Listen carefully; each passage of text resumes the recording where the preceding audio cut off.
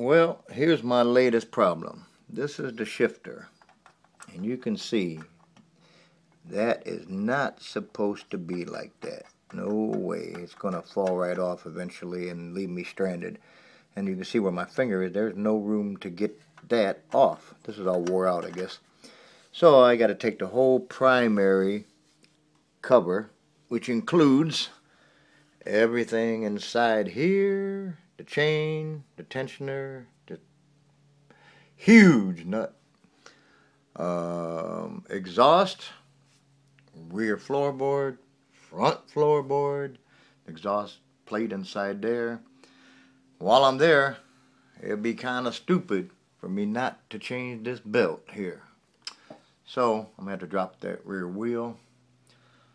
So I'm gonna be down for a minute or two, just let y'all know. I'll see you in September. Ciao.